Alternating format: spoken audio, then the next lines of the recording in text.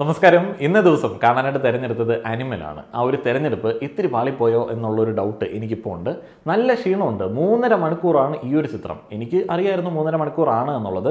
ഇതിന്റെ ട്രെയിലർ അത്ര കൺവിൻസിംഗ് ഒന്നും അല്ലായിരുന്നു. ഈ ഒരു ട്രെയിലർ തന്നെ വലിച്ചു നീട്ടിയുള്ള ഒരു സിനിമയായിരിക്കും എന്നുള്ളത് ഏകദേശ പ്രതീക്ഷ ഉണ്ടായിരുന്നു. ഈ ബോളിവുഡിലൊക്കെ കോമൺ ആയിട്ട് നമ്മൾ കാണുന്ന ആ ഒരു രീതിയാണ്. എന്നാലും മൂന്നര മണിക്കൂറിലേക്ക് കാണിക്കുന്ന സമയത്ത് അഡീഷണൽ ആയിട്ട് കുറേയധികം കാര്യങ്ങളുണ്ടായിരിക്കും അതിൽ ഏറ്റവും വലിയ പ്രതീക്ഷ എന്ന് പറയുന്നത് രൺബീർ ആയതുകൊണ്ട് ഞാൻ പോയി തലവെക്കുകയായിരുന്നു.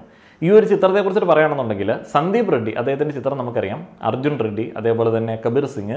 ഈ ഒരു ചിത്രങ്ങളിലേക്ക് ഒരു ട്രീറ്റ്മെന്റ് ഉണ്ടല്ലോ. ആ ഒരു ട്രീറ്റ്മെന്റിൽ തന്നെ അപ്ഡേറ്റ് ചെയ്ത് ഇറക്കിയിരിക്കുന്ന ഒരു സാധനമാണ് ഈ അനിമൽ അനിമലിനകത്ത് ഞാൻ പ്രതീക്ഷിച്ച ആദ്യം മുതൽ അവസാനം വരെയുള്ള രൺബീറിന്റെ അഭിനയം അല്ലാതെ വേറൊരു സംഗതിയില്ല. നല്ല രസമുള്ള അത്യാവശ്യം ലെങ്തി ആയിട്ടുള്ള ഫൈറ്റ് സീക്വൻസുകളുണ്ട് അത് അടിപൊളിയാണ്. അതിന്റെ ബാക്ക്ഗ്രൗണ്ട് മ്യൂസിക് കാര്യങ്ങളൊക്കെ നല്ലതാണ്.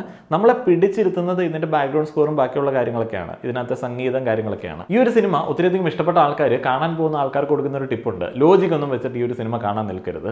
ലോജിക് ഒന്നും ഇതിനകത്ത് തപ്പരുത്. പൊളിറ്റിക്കൽ കറക്റ്റ്നസ് ഒന്നും ചിന്തിക്കരുത്. അല്ലാതെ നിങ്ങൾ ഈ ഒരു സിനിമ കണ്ട് ആസ്വദിക്കാൻ പറ്റിയാൽ നിങ്ങൾക്ക് ഇത് ആസ്വദിക്കാൻ പറ്റും. അങ്ങനെ കാണേണ്ട ഒരു സിനിമയാണ് അങ്ങനെ കാണാം. ഓക്കെ ആ രണ്ട് കാര്യങ്ങൾ മാറ്റി വെച്ചു. നമ്മൾ അങ്ങനെയുള്ള സിനിമകൾ ഇഷ്ടം പോലെ കണ്ട് ആസ്വദിക്കാറുണ്ട്.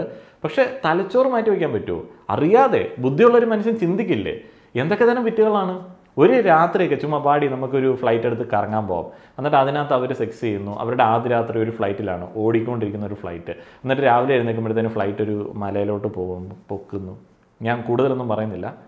ഇതൊക്കെ ട്രെയിലറിനകത്ത് കണ്ട സംഗതിയാണല്ലോ. ഈ ഒരു ചിത്രം ഒരു ഒ ടി ടിയിലേക്കൊക്കെ വന്നു കഴിഞ്ഞാൽ ഒരു ഒ ടി ടി ഡിസാസ്റ്റർ ആയിട്ട് മാറാൻ എല്ലാവിധ സാധ്യതയുണ്ട്. അനിമൽ ഒന്ന് സ്കിപ്പ് ചെയ്യാതെ കണ്ടുകൊണ്ടിരിക്കാനായിട്ട് ഒ ടി ടിയിൽ പോലും പറ്റില്ല. തിയേറ്ററിലേക്ക് നമ്മൾ പോകുന്ന സമയത്ത് നമ്മൾ ലോക്കാണല്ലോ അതേപോലെ സെക്കൻഡ് ഹാഫിലേക്ക് പോകുന്ന സമയത്ത് നമുക്കൊരു പ്രതീക്ഷയുണ്ട്. ഒരാൾ വരാനുണ്ട്. ആ ആൾ വരാൻ വേണ്ടിയാണ് നമ്മൾ സെക്കൻഡ് ഹാഫ് കാണുന്നത്. അതൊരു സസ്പെൻസ് ആണ്. ഫസ്റ്റ് ഹാഫ് കണ്ടപ്പോഴത്തേന് ഒരു സിനിമ കണ്ട ഒരു ക്ഷീണം ഓൾറെഡി ഉണ്ടായിരുന്നു.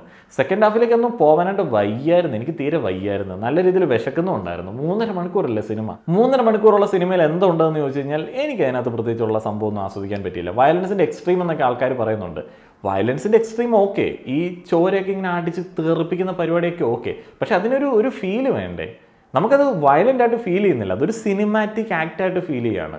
ഈ ലോകേഷിന്റെ സിനിമകളിലും ബാക്കിയുള്ള നമ്മൾ കാണുന്ന തമിഴ് പടങ്ങളിലും ഒക്കെ വയലൻസ് കാണിക്കുന്ന സമയത്ത് ഒരു ഒരു കൊള്ളലുണ്ടല്ലോ. ആ ഒരു സാധനമില്ല. ഇതിങ്ങനെ ചോര തെറിപ്പിക്കാൻ വേണ്ടി എന്തോ ഒരു ആക്ടിവിറ്റി ചെയ്യുന്ന പോലെയാണ് പേഴ്സണലി ഫീൽ ചെയ്യുന്നത്. ഈ സന്ദീപ് റെഡ്ഡിയുടെ ചിത്രങ്ങളിൽ മസ്കുലിനിറ്റി ആഘോഷങ്ങൾ ഉണ്ട് എന്നുള്ള വിമർശനങ്ങൾ കാര്യമായിട്ട് തന്നെ ഉണ്ട് ഇപ്പോൾ അർജുൻ റെഡ്ഡി നമ്മൾ കാണുകയാണെന്നുണ്ടെങ്കിൽ അന്നത്തെ കാലത്ത് ആസ്വദിക്കാൻ പറ്റി. ശരിയാണ് ഞാൻ അന്ന് നല്ല രീതിയിൽ ആസ്വദിച്ചു. ഒരു റീവാച്ചിങ്ങിന് വേണ്ടി പരിഗണിക്കുകയാണെന്നുണ്ടെങ്കിൽ എനിക്ക് തീരെ അങ്ങോട്ട് പറ്റത്തില്ല. അത് നമ്മളെന്തോ പൊളിറ്റിക്കൽ കറക്റ്റ്നെസ് ആർജിച്ചെടുത്തതുകൊണ്ടോ അല്ലെങ്കിൽ നമ്മൾ ലോജിക്കിനെ കുറിച്ചിട്ട് കൂടുതലായിട്ട് ചിന്തിക്കുന്നതുകൊണ്ടോ ഒന്നും അല്ല. കാലം മാറി നമ്മളെ ഭൗതിക നിലവാരം മാറി അതുകൊണ്ട് നമുക്കത് ആസ്വദിക്കാൻ പറ്റുന്നില്ല. അന്ന് വിജയിച്ച ഒരു ട്രീറ്റ്മെന്റ് ആണെന്ന് പറഞ്ഞ് ഈ ഒരു സിനിമയിലെ ക്യാരക്ടറിനെയും ആ രീതിയിൽ തന്നെ ഫോം ചെയ്ത് ചുമ്മാ എന്തെങ്കിലുമൊക്കെ ആൾക്കാർ വിഷയം ഉണ്ടാക്കാൻ വേണ്ടിയുള്ള സാധനം ഇട്ട് കൊടുക്കുമ്പോഴത്തേന് അതിന്റെ ഉദ്ദേശം എനിക്ക് മനസ്സിലാവുന്നില്ല. ഒട്ടും കൺവിൻസിങ് അല്ല.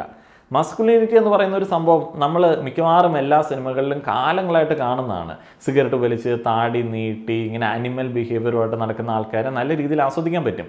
പക്ഷേ ഈ ഒരു സിനിമയിലെ പ്രശ്നം എന്താണെന്ന് വെച്ച് കഴിഞ്ഞാൽ ഈ ഒരു സിനിമയിൽ രൺബീർ അഭിനയിച്ചതിന്റെ ആണോ അല്ലെങ്കിൽ ക്യാരക്ടർ എഴുതി വെച്ചിരിക്കുന്നതിന്റെ ആണോ എന്നുള്ളത് എനിക്കറിയില്ല. ഇത് ഇമ്മച്യൂരിറ്റിയാണ് ഫീൽ ചെയ്യുന്നത്. ഒരു ഒരു കിഡിഷ് അപ്രോച്ചാണ് ആദ്യം മുതൽ അവസാനം വരെ. ചിത്രത്തിന്റെ തുടക്കത്തിൽ രൺബീർ കോളേജിൽ കയറി പിള്ളേരൊക്കെ പഠിപ്പിക്കുന്ന ഒരു സീനുണ്ട് ഒരു സ്കൂൾ കിഡായിട്ട് ആ ഒരു കിഡിഷ് അപ്രോച്ച് തന്നെയാണ് പിന്നീട് അയാൾ വൻ സെറ്റപ്പ് ആവുന്ന സമയത്ത് ഫീൽ ചെയ്യുന്നത്. നോർത്ത് ഇന്ത്യൻ ഇൻസ്റ്റാഗ്രാം പ്രൊഫൈലുകളൊക്കെ നമ്മൾ സ്ഥിരമായിട്ട് അധിക്ഷേപത്തിന് വേണ്ടി യൂസ് ചെയ്യുന്ന ഒരു സംഗതി കാണാറുണ്ട്. പെൺകുട്ടികളെ അധിക്ഷേപിക്കാൻ വേണ്ടി പപ്പാക്കി പ്യാരി അങ്ങനെയല്ല വേറെ ഒരു രീതിയിലാണ് പറയുന്നത്. അത് എനിക്ക് ഈ ഒരു സിനിമ കണ്ട സമയത്ത് രൺബീറിനെ കണ്ടപ്പോൾ എനിക്ക് തോന്നി. പപ്പാക്ക് പ്യാരി കിഡ്.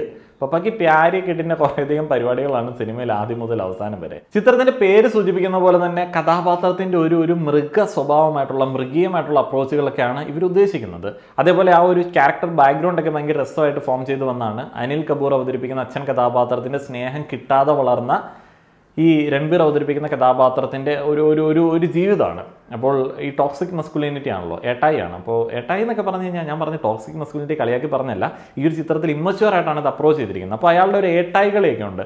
തന്റെ ഫാമിലി സംരക്ഷിക്കാൻ വേണ്ടിയും പെങ്ങന്മാരെ സംരക്ഷിക്കാൻ വേണ്ടി അതിന്റെ മാസ് രംഗങ്ങൾ കൊണ്ട് ഇങ്ങനെ വാരി വലിച്ചങ്ങ് ഇട്ടേക്കാണ്. ഇയാൾ ഈ പുറത്ത് സർവകലാശാലയിലൊക്കെ പോയി ബോർഡിംഗ് സ്കൂളിലൊക്കെ പോയി പഠിച്ച ഒരു മനുഷ്യനാണ്.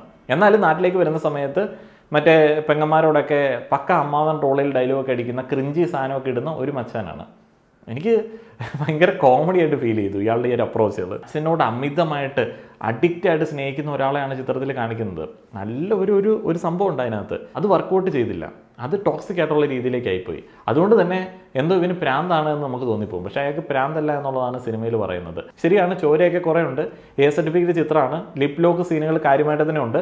ലിപ് ലോക്കിനകത്തൊക്കെ കാര്യമായിട്ട് അഭിനയിച്ചിരിക്കുന്നത് രശ്മിക ആയതുകൊണ്ട് ഒരു രസവും ഇല്ല ഒരു ഫീലും ഇല്ല. രശ്മികയും രൺബീറും രൺബീറിന്റെ പ്രണയം അത് രശ്മികയുമായിട്ടല്ലാത്ത ഒരു പ്രണയം ചിത്രത്തിൽ കാണിക്കുന്നുണ്ട്. അതെനിക്ക് നല്ല രീതിയിൽ ഫീൽ ചെയ്തു. രശ്മിക ഒട്ടും പറ്റുന്നില്ല. എന്തുകൊണ്ടാണ് രശ്മികയെ ആളുകൾ ഇതുപോലുള്ള കഥാപാത്രങ്ങൾ കൊടുത്തിരുത്തുന്നത് എന്നുള്ളത് എനിക്കറിയില്ല. ടോക്സിക് മസ്കുലിനിറ്റി ഒക്കെ പ്ലേസ് ചെയ്ത് നിൽക്കുന്ന ഒരു നായിക കഥാപാത്രം വേണം. വലിയ കാര്യമായിട്ടുള്ള റോളൊന്നും ഇല്ല ഡയലോഗൊന്നും ഇല്ലാത്തത് കൊണ്ടാണോ രശ്മികയെ പ്ലേസ് ചെയ്തത് എന്നുള്ളത് എനിക്കറിയില്ല. വേറെ ഇത്തിരിയും കൂടെ കാമ്പുള്ള എക്സ്പ്രഷൻ ഇടാൻ പറ്റുന്ന ഒരാളായിരുന്നു എന്നുണ്ടെങ്കിൽ കുറച്ചും കൂടെ അവർ തമ്മിലുള്ള ആ ഒരു സംഭവം ഒന്ന് കയറിയാനും ഇത് ഭയങ്കരമായിട്ട് രശ്മിക എനിക്ക് സ്ഥിരമായിട്ട് തന്നെ വെറുപ്പിക്കൽ ഫീൽ ചെയ്യുന്ന ഒരു നടിയാണ്. ഈ ഒരു സിനിമയിൽ ഒന്നും എനിക്ക് തോന്നിയില്ല. അതേപോലെ രശ്മിക പ്രപ്പോസ് ചെയ്യുന്ന ഒരു സീനുണ്ട് സ്പോയിലറൊന്നും അല്ല. അതിന്റെ സംഭവമൊന്നും ഇല്ലല്ലോ. ആ പ്രപ്പോസ് ചെയ്യുന്ന സീൻ കണ്ടാൽ നിങ്ങൾക്കറിയാം. പ്രപ്പോസ് ചെയ്യുന്ന സിറ്റുവേഷനിൽ ആൽഫ കഥയൊക്കെയാണ് പറയണത്. ആൽഫ കഥ കേട്ടിട്ട് അവൾ അപ്പം തന്നെ നല്ല മിടുക്കനായിട്ടുള്ള ഒരു ചെറുക്കനെ ഇട്ടിട്ട് ആയി ചേട്ടായി ഞാൻ വരികയാണ് എന്നൊക്കെ പറഞ്ഞിട്ട് ഒരൊറ്റ പോക്ക്. എന്തൊരു ഫിറ്റാണ് ഇനി ബാക്കി കാര്യങ്ങളെ കുറിച്ചിട്ട് പറയുകയാണെന്നുണ്ടെങ്കിൽ ഇതിന്റെ സ്റ്റൺ കൊറിയോഗ്രാഫി കാര്യങ്ങളൊക്കെ ഗംഭീരമാണ് ഞാൻ പറഞ്ഞിരുന്നു. അത് നല്ല ലെങ്തി ആയിട്ട് തന്നെ ഉണ്ട്. അതിനകത്ത് മറ്റേ കെ ജി എഫിന്റെ ഒക്കെ അപ്പൂപ്പനായിട്ടുള്ള ഒരു സാധനം കൊണ്ടുവന്നിട്ട് വെടിവെക്കുന്ന സംഭവമൊക്കെ ഉണ്ട്. പതിനായിരക്കണക്കിന് ആൾക്കാരെ വെടിവെക്കുന്ന സാധനമൊക്കെ ഉണ്ട്. അതൊക്കെ നല്ല രീതിയിൽ ആസ്വദിക്കാൻ പറ്റുന്നുണ്ട്. അതേപോലെ ഒരു മ്യൂസിക്കൽ ബാക്ക്ഗ്രൗണ്ടിൽ ഒരു സ്റ്റാൻഡ് ഉണ്ട്. അത് നല്ല ഗംഭീരമാണ്. പഞ്ചാബികളായിട്ടുള്ള കുറേയധികം ആൾക്കാർ നമ്മൾ ഈ ഹിന്ദി പടം സ്ഥിരമായിട്ട് കാണാത്തതുകൊണ്ട് അവരുടെ പേരൊന്നും അറിയത്തില്ല. അവരുടെ ഒരു ഗെറ്റപ്പും അവരുടെ ഒരു ഒരു പ്രസൻസും ഇവരുടെ ആ ഒരു ഒരു ഗ്രൂപ്പും അത് ഗംഭീരമായിരുന്നു അത് നൈസായിരുന്നു അത് നല്ല രീതിയിൽ ആസ്വദിക്കാൻ പറ്റുന്നുണ്ടായിരുന്നു. ഇടയ്ക്ക് കുറച്ച് കോമഡി മുഹൂർത്തങ്ങളൊക്കെ ഉണ്ട്. രൺബീർ അങ്ങനെയുള്ള രസകരമായിട്ടുള്ള മുഹൂർത്തങ്ങൾ കൈകാര്യം ചെയ്യുന്നതിൽ മിടുക്കനാണ്.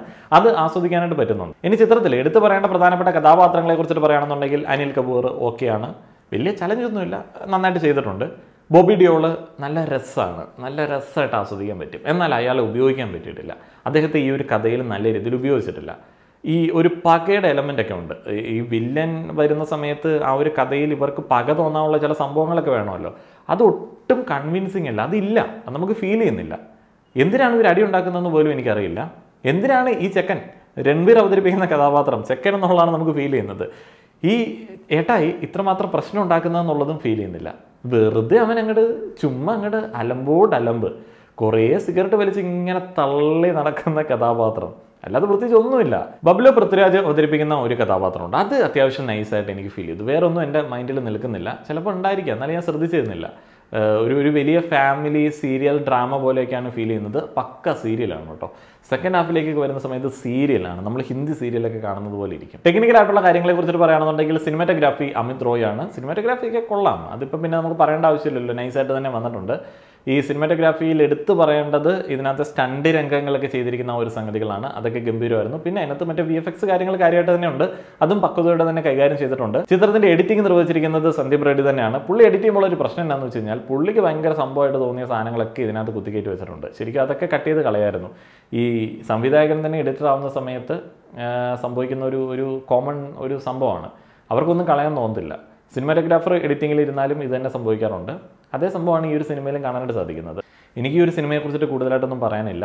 ഈ ഒരു സിനിമ കണ്ട സമയത്ത് എനിക്ക് തോന്നിയ കാര്യം എന്താണെന്ന് വെച്ച് കഴിഞ്ഞാൽ എന്റെ ലൈഫിൽ നിന്ന് നാല് മണിക്കൂർ പോയി. കാണേണ്ട ഒരു ആവശ്യം ഉണ്ടായിരുന്നില്ല. ചിത്രത്തിനാണെങ്കിൽ മുന്നൂറ് രൂപയാണ് ടിക്കറ്റ് റേറ്റ്. ലുലുവിൽ പോയി കാണണം.